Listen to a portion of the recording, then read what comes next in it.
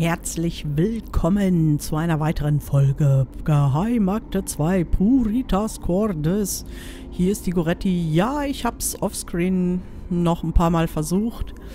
Ähm, ich bin nicht drauf gekommen, deswegen habe ich tatsächlich im Internet nachgeguckt.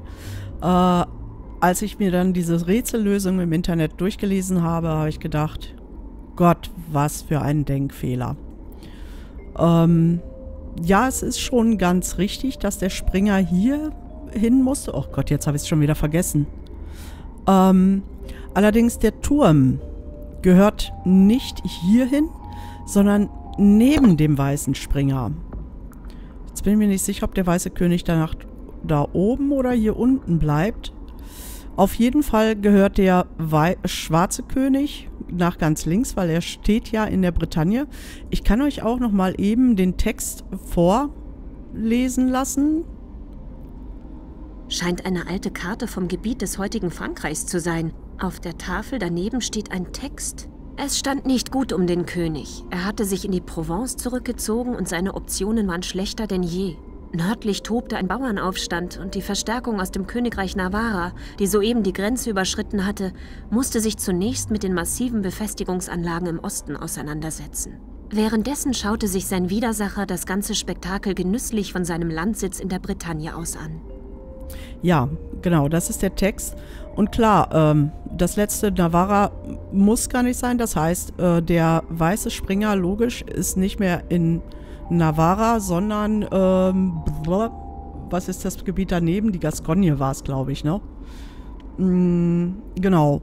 Und die Befestigungsanlagen im Osten, jetzt ist mein Handy irgendwie auf, so, mal eben hier lautlos stellen. Jetzt habt ihr einmal das Gepiepe von meinem Handy. Ich gucke mir nämlich gerade nebenbei tatsächlich nochmal das Bild an, das ich vorher gemacht habe. Ähm, und der König ist hier, während er da oben aus der Bretagne aus zuschaut. Die Bauern machen Aufstand. War das jetzt hier oder da? Ganz im Norden. Ich hab's schon wieder ver... Ich muss nochmal, ähm... Muss nochmal rein ins Internet. Das, äh, das nützt nichts. Aber gut, wenn man äh, zusätzlich äh, immer noch nebenher ein Tablet besitzt. Beziehungsweise das Handy. Hätte man ja auch machen können, ne? Egal. Was auch immer. Es ist völlig wurscht. Ähm, gut. Also. Der Weiße König soll unterste Reihe, klar, in der Provence, ganz rechts. Provence war ja auch ganz rechts. Ähm, sein Springer, das ist ja seine Verstärkung, ganz links unterste Reihe. Der schwarze König, klar, guckt aus der Bretagne aus zu also ganz oben links in der Reihe. Ähm, die Bauern. Äh, nördlich davon, hier im Internet steht es, dritte Reihe von oben ganz rechts. Das verstehe ich jetzt nicht so ganz, weil sie spricht ja vom Norden. Warum steht er dann nicht da oben? Ich habe die ganze Zeit immer wieder versucht, den Bauern hier oben zu, hinzustellen. Warum soll der Bauer hier hin? Das verstehe ich nicht. Naja, egal. Was? Eine Brücke, die aus der Decke fährt? So ein Mechanismus in einer 350 Jahre alten Kapelle?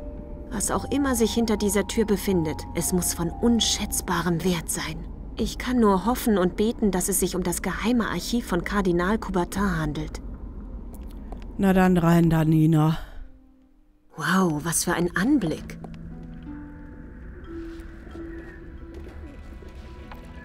Latein. Für ein ganzes Archiv wird mein Schullatein kaum reichen. Ich bin ja auch noch da. Na, wo kommst Wie du denn haben her? Sie das geschafft?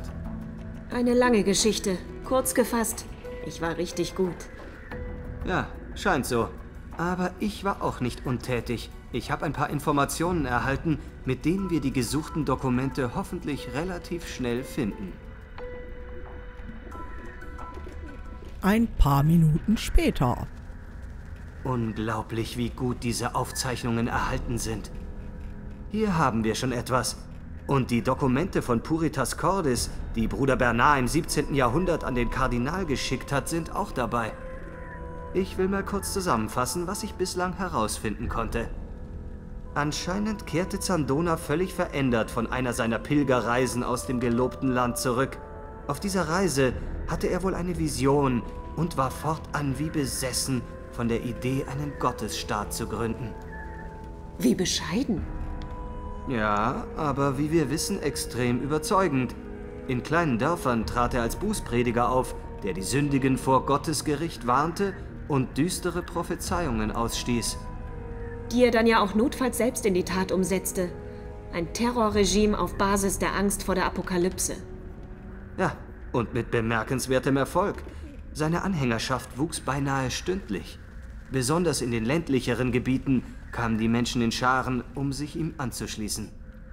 Hier sind auch nochmal die Vorboten der Apokalypse aufgelistet. Zuerst Pestilenz und Krankheit, als nächstes die Bestrafung der Habgierigen, dann Krieg, Erdbeben, Feuer, gefolgt von einer Sintflut. Soweit wissen wir das ja alles schon. Was soll als nächstes passieren?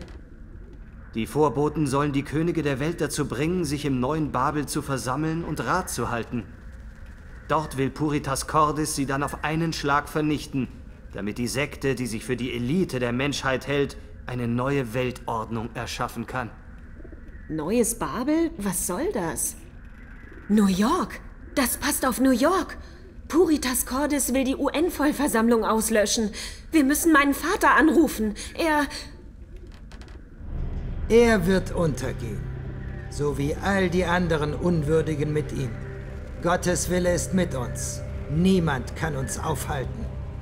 Und ihr beiden schon gar nicht. Los, mitkommen. Laufen Sie! Schnell! Ah, Frau Kalenko. Ach nee. So sieht man sich wieder.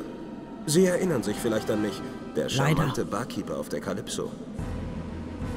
Aber genug der Höflichkeiten. Hier finden Ihre Bemühungen, uns aufzuhalten, ein bedauerliches Ende. Nein! Und wieder ein Ärgernis weniger. Können wir jetzt aufbrechen? Oder wollen Sie Ihrem Kollegen folgen? Nein? In Ordnung, dann lassen Sie uns gehen. Wir werden einen kleinen Ausflug aufs Land machen. Jetzt Charmanter. schwur ich schon seit Stunden in dieser Zelle und warte darauf, dass dieser Pat Shelton endlich wiederkommt. Wenn ich nur wüsste, was er eigentlich von mir will und was Nina mit der Sache zu tun hat. Es muss ja irgendwie mit den Vorfällen in Indonesien zusammenhängen. Okay, überlegen wir mal. Die haben einen Vulkan zum Ausbruch gebracht und ich war Zeuge. Und wenn wir diesen Gedanken jetzt weiterverfolgen, kommen wir zu der Feststellung, dass sie solche Zeugen vermutlich nicht sonderlich mögen. Fazit, hier werde ich wohl keinen Spaß haben. Ich sollte mich also schleunigst vom Acker machen. Bleibt nur die Frage wie. Ich muss mir auf jeden Fall irgendwas organisieren, um hier abhauen zu können. Äh, so ist es, mein Freund. Äh, ein charmanter Barkeeper auf der Calypso. Ich fand ihn alles andere als charmant. Ja, und jetzt stehen wir hier wieder. Das war, ja, äh, ja, mit Max und äh, in dieser Höhle ist ja einiges scheinbar jetzt passiert. Äh, ich bin mir nicht sicher, ob tatsächlich ähm, der gute Corell, David Corell, erschossen worden ist oder ob er es nicht geschafft hat, seinen Widersacher eher zu ähm, entwaffnen, erschießen und von der Brücke zu stoßen. Äh, da gehe ich mal von aus, weil Helden sterben nicht in solchen Spielen. So, Max, dann kümmern wir uns mal um dich. Du, hier, ein Fenster, da kommst du mit Sicherheit nicht raus. Die Zellentür, das ist ja eine schöne Zelle. Den Stuhl, da können wir nichts mitmachen. Stroh, da können wir bestimmt noch was drin suchen. Ja, die Tür natürlich. Zahlenfeld. Alarmknopf. Guck mal, da sind ganz viele Bilder. Ein Tellerchen. Eine Kutte, die können wir anziehen. Klappe und Ofen. Ofenklappe und Ofen selbst. Okay. Müllgreifer. Ach, das gehört alles noch zum Ofen dazu. Alles klar. Zellentür, logisch. Mehr ist hier nicht, oder? Nö, ich glaube, ich habe alles. Ja gut, dann gucken wir uns mal alles an. Das feuchte, gammlige Zeug stinkt bestialisch. Ach, das ist doof, das stimmt. Ich nehme an, der Apfel hatte nicht schon immer dieses weiße Pelzmäntelchen. Nein, bitte, das will ich gar nicht wissen. Das ist ja ekelhaft. Selbst bei genauerer Untersuchung kann ich keine Schwachstellen ausmachen. Schade aber auch. Nicht aus Edelstahl und auch nicht rostfrei, aber dennoch sehr effektiv. Hm, nicht rostfrei. Damit kann man Müll vom Boden aufsammeln, ohne sich bücken zu müssen. Sehr praktisch, wenn man alt ist oder faul. ich hatte auch mal so ein Ding. ein alter Kanonenofen, scheint aber kaputt zu sein. Zumindest wurde er wohl schon lange nicht mehr benutzt. Es knarzt ganz komisch hier drin. Ist das wirklich das Holz oder auf einem Schiff können wir nicht sein, nicht bei solchen Fenstern. Eine gusseiserne Ofenklappe. Ich glaube, die Sektenmitglieder tragen nur deshalb solche Kutten mit Kapuze, damit man ihre hässlichen Gesichter nicht sehen muss. Eigentlich sehr rücksichtsvoll von ihnen. da hast du recht, Max. Äh, hier. Sieht aus wie ein Alarmknopf. Ein Zahlenfeld zur Codeingabe. Hm. Ja, da will ich raus. Falls jemand weiß, wie das geht, möge er sich bitte bei mir melden. Ähm, sobald ich weiß, wie das geht, melde ich mich natürlich bei dir, lieber Max. So. Die Abstände zwischen den Gitterstäben sind viel zu klein, um durchzukriechen. Ende der Diskussion. Kannst du den Apfel nehmen? Oh, ekelhaft. Muss das sein? Ja, muss wohl. Oh nein. Du armer Kerl. Ein schimmeliger alter Apfel. Ich nehme an, der Apfel hatte nicht schon immer dieses weiße Pelzmäntelchen. Oh, ekelhaft. Man könnte den Gestank vielleicht als Waffe einsetzen, aber ich wäre wohl der Erste, der davon umkippt. Also lasse ich das Zeug, wo es ist. Alles klar, kommst du an den Müllgreifer dran? Ich würde ja gerne, aber wie heißt es doch gleich? Männer haben kurze Arme. Dazu sage ich jetzt mal lieber gar nichts. Ähm, das Einzige, was wir haben, ist tatsächlich eine Apfel. Können wir den da dran schmeißen? Den schimmeligen Apfel. Wenn ich den Müllgreifer genau treffe und das Ding dann auch noch in die richtige Richtung umfällt.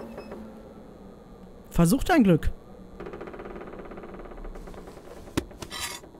Sehr gut. Somit kommen wir schon, zumindest schon mal an einige Dinge heran.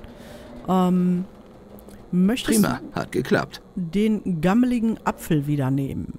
Der ist viel zu massiv, um ihn mit einem dünnen Stock umzukippen oder zu zerstören. Das heißt, den Apfel kann ich gar nicht anfahren. Nein, okay. Die Klappe? Ich muss die Klappe nur aus den Angeln ziehen und... Was zur Hölle soll ich mit so einer Klappe?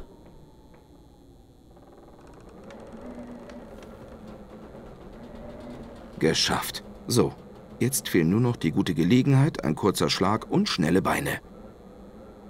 Ach, das war's schon? Mitkommen. Pat Shelton will Sie sehen. Mist. Gegen zwei Leute kann ich mit meiner kleinen Ofenklappe wenig ausrichten. Ich sollte auf eine bessere Gelegenheit warten. Okay. Na, das ging ja flott. Ah ja. Wir sind scheinbar auf einem uralten Schloss, oder wie, oder was? Vermute ich mal. Schön, dass Sie es einrichten konnten. Ich würde Ihnen gerne etwas zeigen. Nina! Max! Ja, Nina Kalenko und Max Gruber. Ich würde Sie jetzt liebend gerne Ihr Wiedersehen gebührend feiern lassen. Aber leider haben wir dafür keine Zeit. Der Grund für unsere kleine Zusammenkunft ist ganz einfach. Sie wollen etwas wissen und ich will etwas wissen.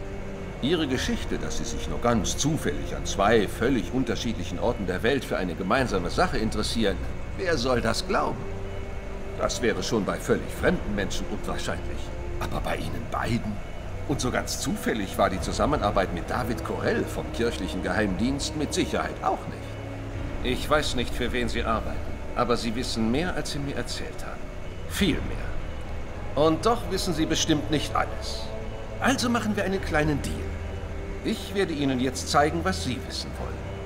Sehen Sie, die Wahrheit ist wie eine ewige Flamme. Man kann versuchen, sie zu verbergen oder zu verdunkeln. Nur löschen kann man sie nicht. Und die hm. Wahrheit hat ihr hässliches Gesicht schon lange nicht mehr hinter dem Schleier der Technik und des Fortschritts verborgen. Sie zeigt uns Tag für Tag ihre schreckliche Fratze. Jede Stunde verhungern 660 Kinder. Millionen von Menschen schuften unter menschenunwürdigen Bedingungen, während ihre Bosse immer reicher und fetter werden. Die Wüsten breiten sich immer weiter aus. Die Polarkappen schmelzen. Das Ozonloch wächst. Die Klimakatastrophe steht kurz bevor. Jeden Tag geben wir unser Bestes, unseren Planeten nach allen Kräften zu zerstören. Allein heute sind wieder fast 140 Tier- und Pflanzenarten ausgestorben. Ja, schrecklich. Und nun? Sie können diese Welt zu einem besseren Ort machen? Ich kann. Zandona war ein großer Prophet. Zu groß für seine Zeit. Seine Vision ließ sich im 17. Jahrhundert noch nicht realisieren. Heute sieht das anders aus. Vision? Sandona hatte keine Visionen. Er war nur ein kranker Kopf, der die Welt vernichten wollte. Vernichten? Oh, ihr Blinden! Er wollte nicht die Welt vernichten. Er wollte nur all jenes Übel auslöschen, was für die Vernichtung dieser Welt verantwortlich ist. Ich werde es Ihnen zeigen. Na, da bin ich aber mal gespannt. Das hier ist die kanarische Insel La Palma. Ein Urlaubsparadies für Sonnenliebhaber. Interessant ist die Insel für uns aber aus einem ganz anderen Grund. Der Vulkan Cumbre Vieja. Die brüchige Westflanke dieses Vulkans ist durchzogen von Felsspalten und Rissen, in denen sich Wasser gesammelt hat. Und jetzt wird es interessant. Durch die Platzierung mehrerer Bomben an genau berechneten Stellen können wir dieses Wasser durch thermonukleare Explosionen so stark erhitzen, dass es schlagartig verdampft. Und wenn Sie im Physikunterricht aufgepasst haben, werden Sie wissen, dass eine so plötzlich auftretende Verdampfung von Wasser einen derart gewaltigen Druck erzeugt, dass die brüchige Flanke des Vulkans abrutscht und ins Meer stürzt. Ahnen Sie schon, was jetzt kommt? Genau, ein Tsunami. 200 Meter hohe Wellen rasen mit der Geschwindigkeit eines Flugzeugs über den Atlantik. Dieser gewaltige Tsunami wird über die Ostküste der USA hinwegfegen. New York versinkt in den apokalyptischen Fluten und mit ihm die selbsternannten Herrscher der Welt, die sich derzeit im UN-Hauptquartier gegenseitig an blinder Inkompetenz überbieten. Oh mein Gott. Das entstandene Machtvakuum werden unsere Anhänger ausfüllen, die zum Teil seit Jahrzehnten an den entscheidenden Stellen sitzen. Sie werden die Macht übernehmen und die Menschen in ein goldenes Zeitalter führen.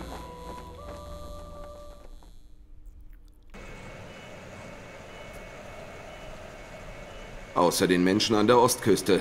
Die werden sie wohl nirgendwo mehr hinführen. Hören Sie mir nicht zu? Ich sagte doch, es geht darum, die Erde zu retten. Indem Sie Millionen Menschen jämmerlich ertrinken lassen?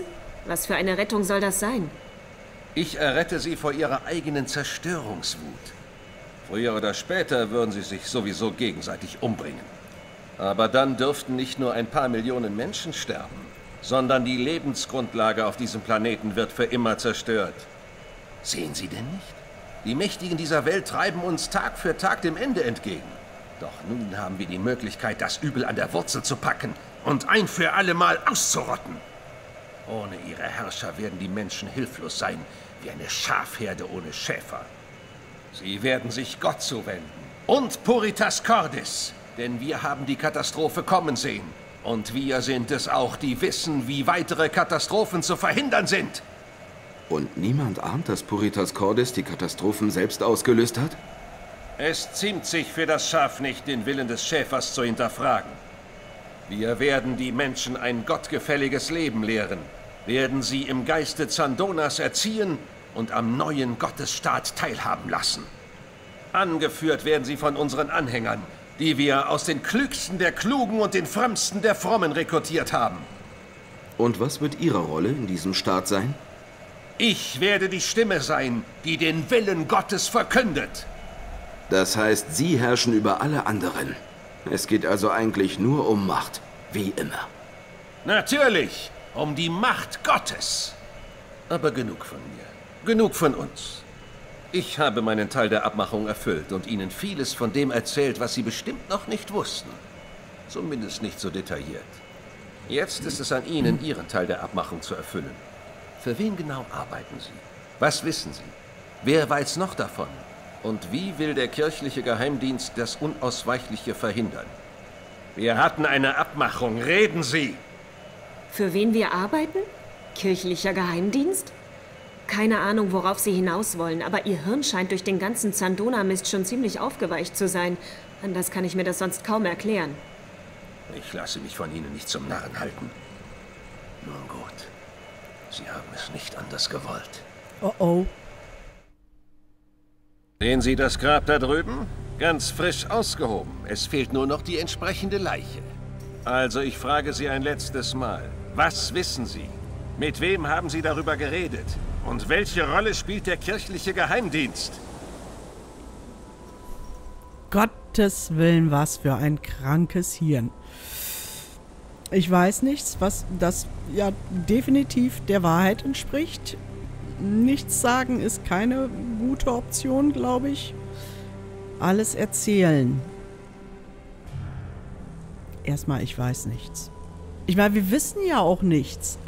Außer das, was Puritas Cordes ist und was er uns jetzt gerade erzählt hat, wissen wir nicht wirklich. Gut, sie wollen versuchen, sie aufzuhalten. Das ist auch alles. Tut mir leid, aber ich weiß nichts von irgendwelchen Geheimdiensten. Und den Mann, der Ihnen darüber vielleicht etwas hätte erzählen können, haben Ihre Leute ja kaltblütig erschossen. Wenn Sie glauben, dass wir hier nur Spielchen spielen, dann Gott. haben Sie sich Max getäuscht. ist jetzt tot.